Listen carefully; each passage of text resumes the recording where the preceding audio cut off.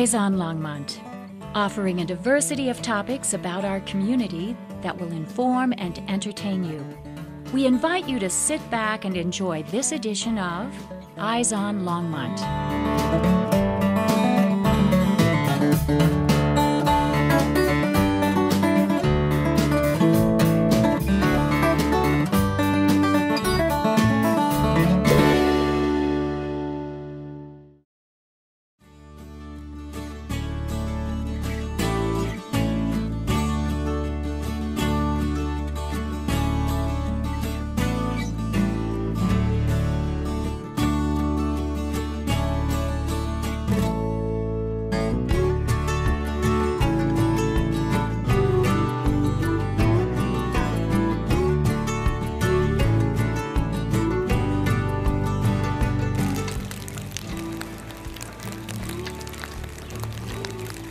Hey guys, my name's Larry Webster. I like to whittle and I like to build flintlock rifles. You guys want to come in and take a look around and see if some of them guns? Come in. Hi, I'm Larry Webster. I was born in Salina, Kansas. We moved to Colorado when I was about seven years old. We've lived around here ever since. Uh, we've lived in this house for 45 years, and when I leave, it's going to be feet first. My hobby is building rifles and carving wood. Uh, I call it a passion. My wife says it's an obsession. But it's just something I like to do. And as long as I'm physically able, I'll be carving and working on something. I started this uh, wood carving when I was 21 years old. I saw a picture in a magazine of a rifle that had been hand carved with a with a scene on it and basket weave carving uh, instead of checkering. And I said I got to have one of them. I knew I couldn't afford to buy one, so I grabbed some wood and I started whittling and carving and this is what it has progressed into. It's it's a heck of a hobby. Uses up a lot of spare time. Well, this this rifle is uh, well, I got a lot of the rifles I used to build, uh, or I did build. I had my own style, and I had them looking at one day, and I said, you know, they all look alike. So I branched out into some other styles. I did one last year that it was uh, my tribute to Isaac Haines, who uh, was an old gun builder. This one I'm building as a tribute to George Eister, who was a fantastic builder. He was an artisan, and uh, he'd been dead 187 years. I figured that up the other night. but it if you look at it and you look at a picture of a gun that George Eister built, you could you'll be able to see the similarities. It's not a copy, but it's but it's a copy. It's in his style instead of. And back when they were building these, they built them in Pennsylvania, and they had geographical areas and generally a county in which most of the gunsmiths in that county built similar style guns. Uh, this happens to be a York County. Uh, one of my other ones is a Lancaster County. And the ones I built before that, I called them Boulder counties. It just was a style I liked, and it, it evolved as I was building them. And it's different than any other county. And they call it a, they call the county the school, a school of Lancaster County. And I don't know why, and I don't know anybody else does, why all the gunsmiths in Lancaster County built guns that look alike. And if you go over to the other county, you go up into Dauphin or somewhere, those guns look alike. Uh, I, I, I don't know why, they just happened, that's the way it worked. When I start off with one of these rifles, the block of wood is pretty good sized. this is the piece I sawed off of the top. And this piece I sawed off of the butt. So you, you can see what you, the general shape of how, what you start with. And this is what you end up with. The, uh, so you see that and off the fore end piece up here is that big square. And you, I, I use a bandsaw to, to rough shape the general shape.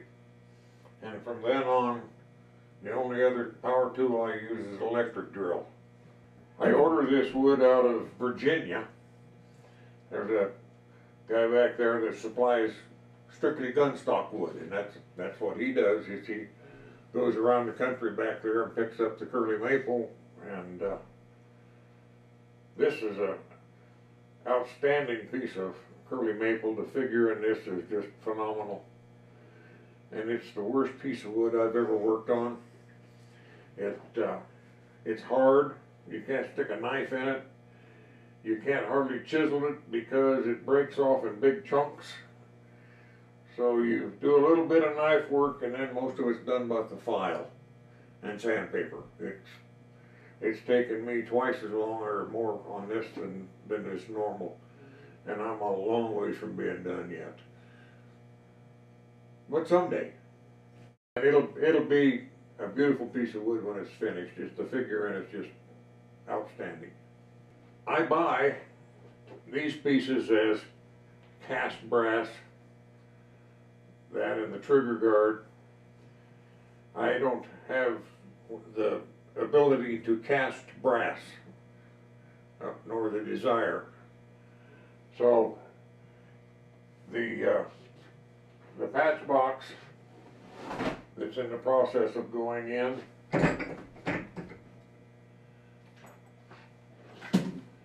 this right here, and that gets another piece that goes in here like this. It's called a patch box. They carried patches. The lid comes up. He really does.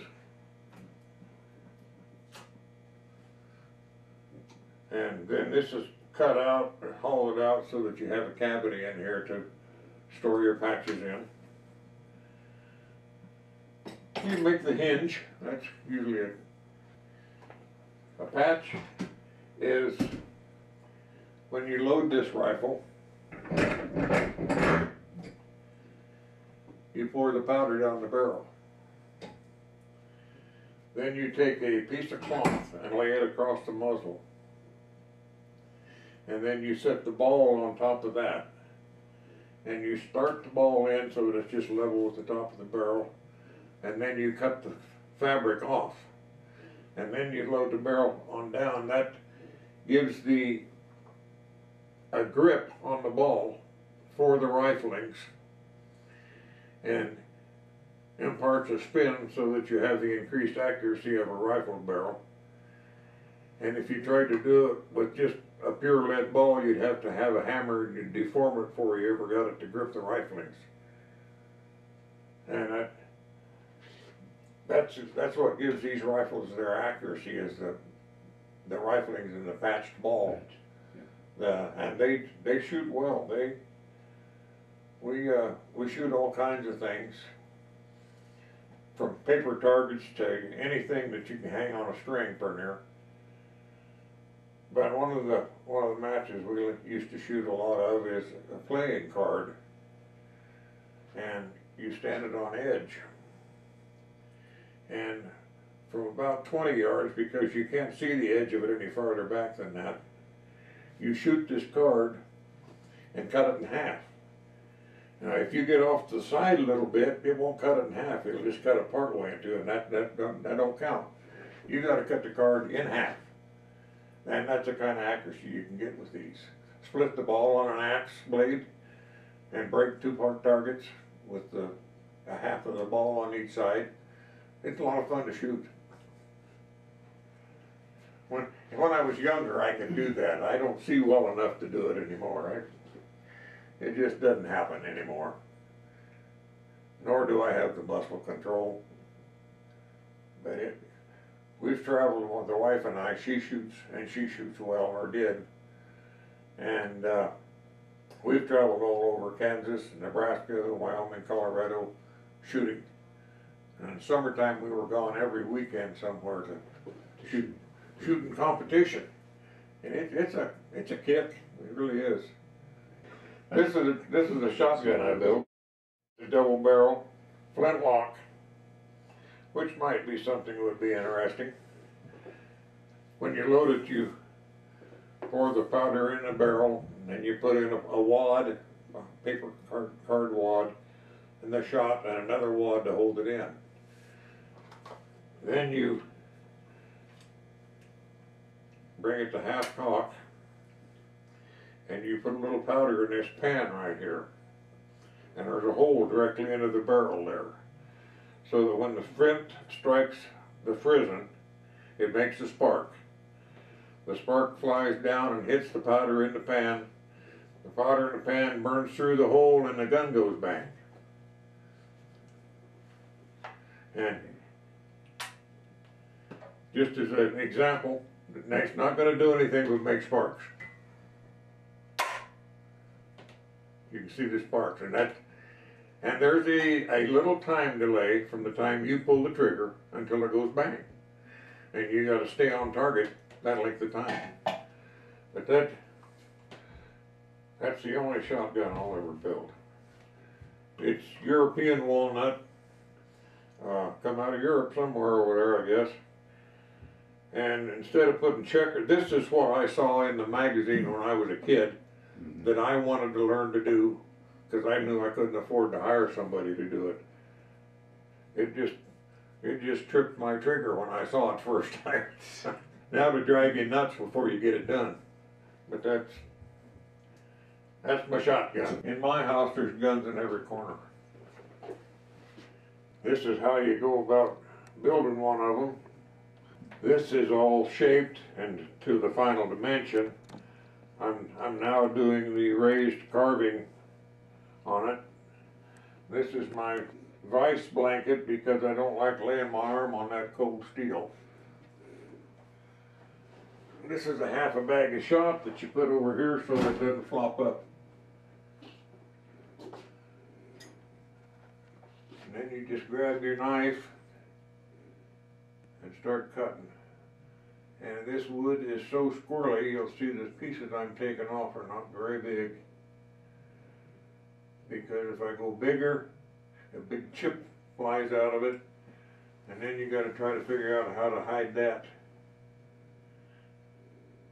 And that's, that's actually the only difference between a good wood carver and a poor wood carver is a good wood carver knows how to hide his mistakes.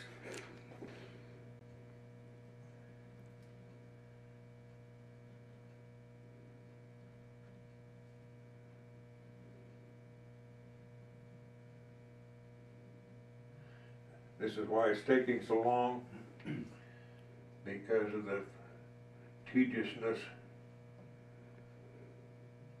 and only being able to take small slivers of wood off.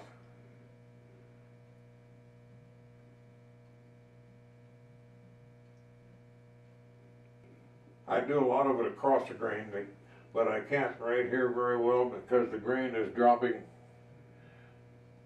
I can go with the grain here because the, the it's dropping down and it's almost an end grain.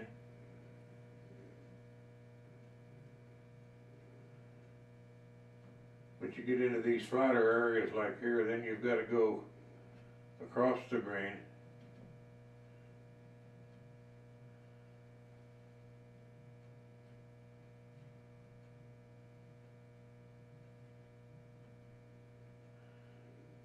If you hear me say a naughty word, it's because a big piece just chipped out. And if you make a very bad mistake, the only thing you can do, what I do, is I immediately put my knife down, turn the lights out, and leave.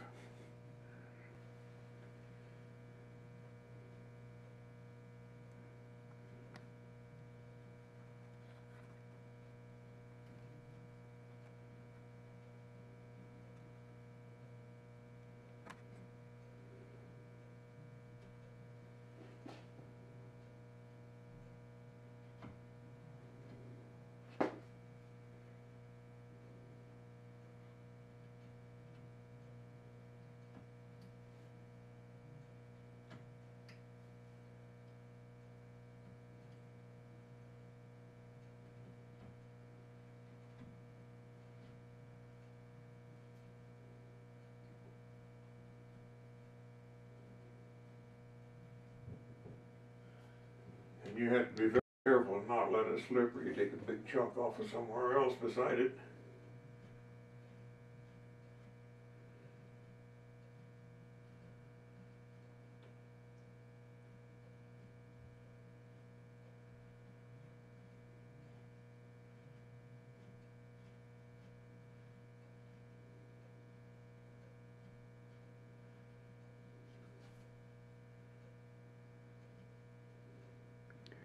This piece of wood will test your patience.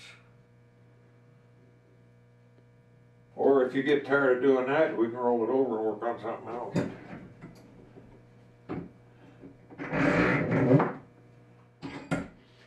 This piece of brass here has to be inset into this wood so that the brass and the wood are level. So, in order to do that, you get out your little knife I've just got this screwed on top of the wood, nothing else done. So uh, to start with it, we come in here with a very pointed knife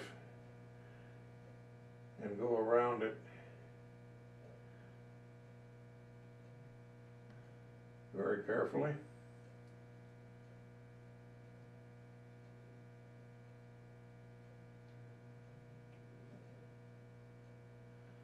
Now, this brass patch box, these edges have a about a five degree taper down back cut so that as the as the metal goes in the wood it gets wider and wider and wider and when it's done you can't look down in there and see a crack if I make one. I try not to have one but the best plans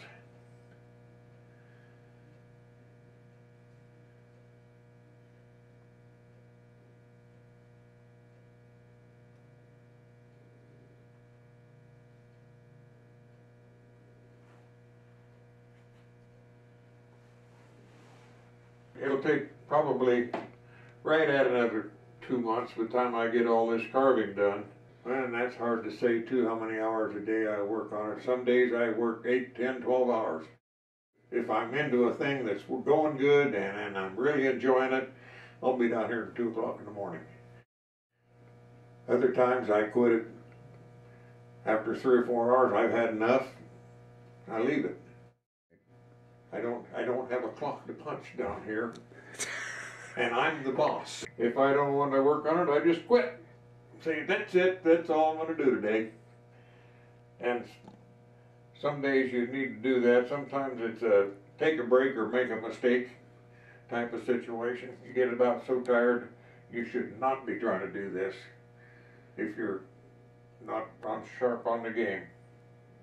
This is a, a rifle, this is the last the rifle I built just before I started this one. It's a little 36 caliber.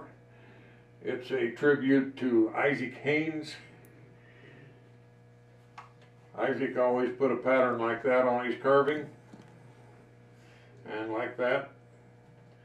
And that piece there. And this carving here. And the patchwork is similar to something he did, but it's not a copy. It's uh, just it's a similar job. This is a sweet shooting little rifle, little 36 caliber. Uh, it's a shorter barrel than most of them, and I built this one in last year, 2017. I date every barrel so that nobody can say, "Oh, this is an original." It's not. It's it's a good shooting little rifle. I build I build cast off into the stock. The barrel comes straight down here, and then the stock bends a little bit, which throws the barrel more under your eye, and you don't have to lay your head over quite so far. I built this in 2012. This is the, it's a 50 caliber, it's a 42 inch barrel. Uh, this is what I used antelope hunt with. I've gotten two antelope with this rifle. which can sometimes be a challenge. And it's it's just a Lancaster style rifle. It's nothing, not a tribute or anything. It's just a just a uh, Lancaster County style. They have a special muzzleloader season. It uh, it falls right in the middle of archery season. The archers don't care for that, but we like it. Um,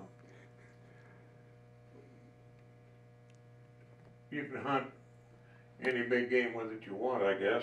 Uh, I've never hunted elk with a muzzleloader, but deer and antelope I've taken my share. Uh, it's a different different time style of hunting. You got to sneak up on them. You only got one shot. It uh, it's satisfying if you like to hunt to to be able to take a, an animal with a flintlock rifle. It there's been a big argument recently over what caliber of muzzleloader you can use to hunt various species. And the law was that you could use a 40 caliber, but it was a confusing law because it said the bullet had to weigh 170 grains. I don't shoot a bullet, I shoot a round ball. So I got a hold of Fish and Game and questioned them about the, the projectile. And they came back and said, you can use your 40 caliber with a round ball. That was last year. This this year the season came out. You can't use a 40 caliber for shooting animals. You can't even use a 45 caliber, which is what I'm building here. I was going to hunt antelope with that. I said, no, you can't use a 45 caliber anymore. It has to be a 50 caliber, which is what this is, to hunt antelope and deer, and a 54 caliber to hunt elk. And they changed the regulations. I can hunt, I can still hunt antelope with one I've always the one I've always hunted with. Uh, but I just it just I, I told them what was wrong and they they corrected it all right. So so I'm building a rifle now I can't hunt with. I've got a grandson now. I'd always hoped that I could pass on the love of building a rifle to one of my offspring. And I've got a grandson now that has been bitten by the bug. And he's building that rifle over there. He's uh, working on this rifle. He's got a long ways to go, but he's got quite a little accomplished. And uh, I, the reason I say he's been bitten by the bug is he's at this stage in the gun. And the other day he said to me, I'm thinking about what I'm going to build next, Grandpa. So when when you're thinking like that, you're going to build you're going to build guns. And I have another grandson that is building a pistol, muzzle-loading pistol. And I I wouldn't be surprised that in the in the future he will take up rifle building also. He'll get the desire, which would just tickle me to no end to be able to have two of my grandsons. And I have a son-in-law who has also been building a rifle for about three years now. for for 30 years, my wife badgered me to make her a set of dueling pistols. And I listened to her and listened to her and didn't pay any attention. Because I don't know how to build a box to put them in. And then one day I was thinking about it because she'd just been busting my chops again to build her a set of pistols. And I thought, you know, if you take a block of wood a solid piece of wood, you can carve a box into the wood. So I got to thinking about it, so I, I got a big block of wood and I started carving on the, put a little carving on the top, dress it up just a little bit. And uh, and I built her some pistols.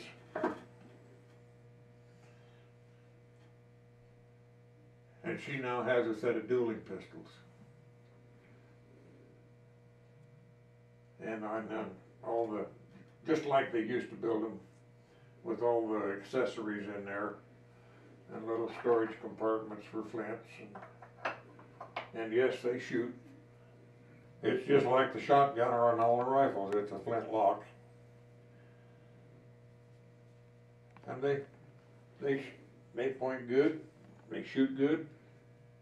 I'm not a pistol shooter. Uh, my wife's a pistol shooter. I shot pistol just because she shot pistols and she wanted me to shoot with her.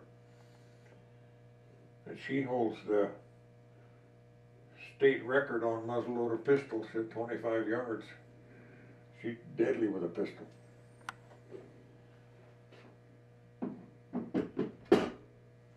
But before we finish today, I'd like to share some other carvings I have done.